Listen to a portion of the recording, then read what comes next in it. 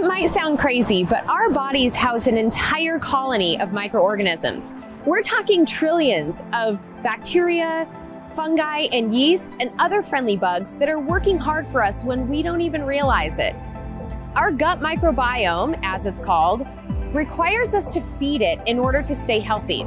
So fibrous plant foods like berries, garlic, onions, asparagus, and whole grains provide the right kind of nourishment for our gut bacteria. It's also helpful to introduce additional friendly bacteria through fermented foods like yogurt, sauerkraut, and kefir. Our gut microbiome is really important for keeping digestion running smoothly, bowel regularity. It can even help with mood and tissue regeneration.